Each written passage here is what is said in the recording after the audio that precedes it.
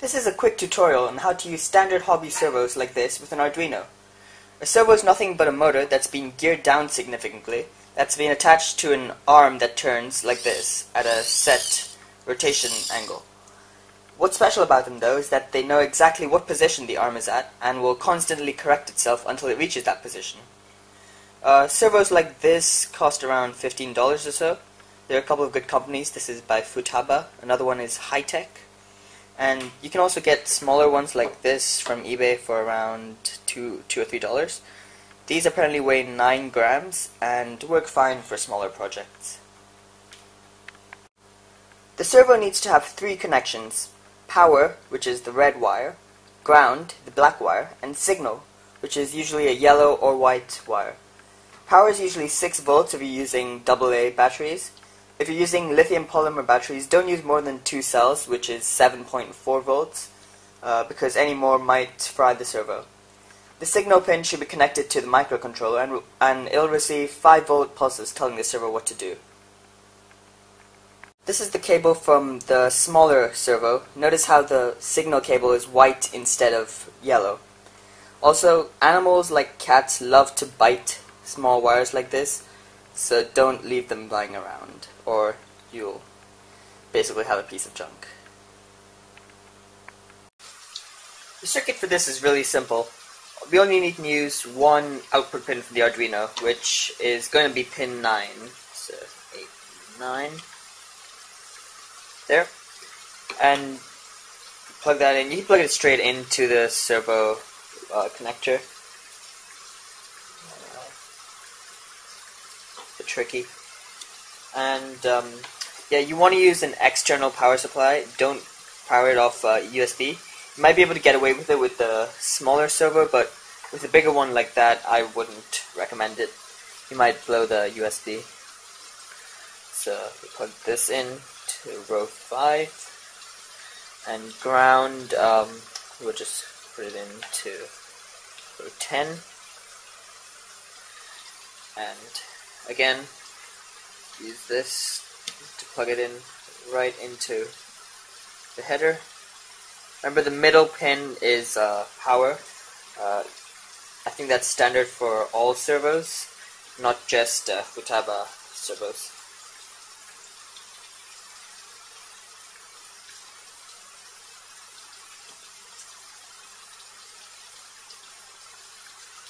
And there it is.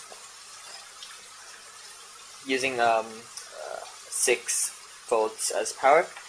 And now let's get on to coding and write something to get it to work. The first thing we need to do is include the Arduino servo library. So we'll go under Sketch, Import Library, Servo.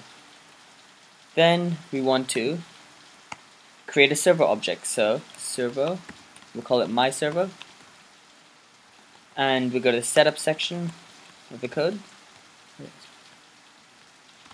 and we have to attach it to a pin so my servo dot attach.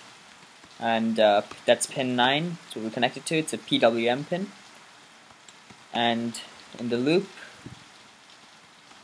we're gonna first uh, write write it to go to center. So my servo dot write microseconds 1500 which is 1.5 milliseconds. And create delay of a second. We'll do this again to make it go all the way left which if you remember is 1 millisecond or 1000 microseconds. And uh, got the delay. And finally we'll do this for to make it go right which is 2000 microseconds. And we'll check that we have no errors. Yep so let's program it and see what happens. So I put a little marking on the servo arm so you can actually tell where the center is. And when we plug it in let's see what happens. So it's going to the center fine, but it's not going all the way left or all the way right. In fact, it can go much further than that. The problem here um, is that a lot of servos don't work right off the bat at the values of 1000 and 2000 microseconds. You have to um, give it slightly different pulses. Uh, it varies with each servo. So for this, I'm gonna guess maybe a 1000, sorry, oh, an 800 millisecond pulse to make it go full left, and maybe a 2200 millisecond pulse to make it go right. So let's adjust those values in the code and try it again. So with the new values, you can see it's still centering fine, because we haven't changed that value, and it's going almost to full left, but um, the right still seems a bit dodgy. So let's change the values a little bit more, uh, maybe 700 to make it go full left, and 2400 to make it go right, and see what happens. With those values that we tried, uh, we can see that the servo is working almost perfectly. So whenever you get a new servo, it's always good to test it out and write down those values. Um, most servos work pretty close. This one seems to be particularly bad, actually. Um, but yeah, every time you get a new servo and want to use it, make sure you test it out with some code and actually note down those values. One thing I wanted to do was measure the current draw of the servo. So to do that, we need to take out um, take out some wires and create a break in the circuit, and um, make the multimeter go in series. So let's do that.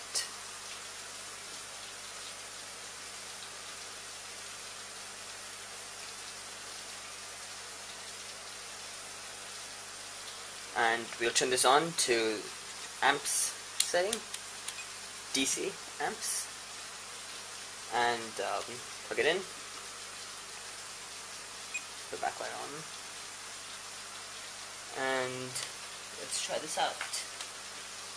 Uh, what's useful about these jumper wires is that they have little exposed contacts so you can probe it with a multimeter.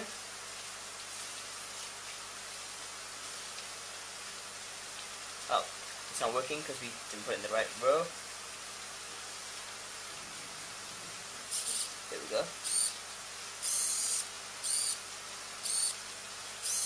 So you can see it's not drawing all too much current actually. Only about uh, 2, 0.2 amps at the most around. Uh, 0.224 actually. So a useful thing to do is you can um, set the min uh, max value. So over here it's reading the max value and it will hold that. So let's focus. There we go. And probe it.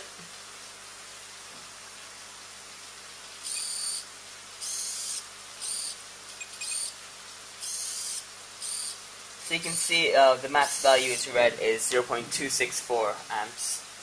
Uh, of course that's going to change if you um, if you hold the servo down like this or make it work harder. So there you have it. That's how to interface uh, a servo with an Arduino. One other cool thing you can do with servos is that you can modify them to use them as wheels for like robotics.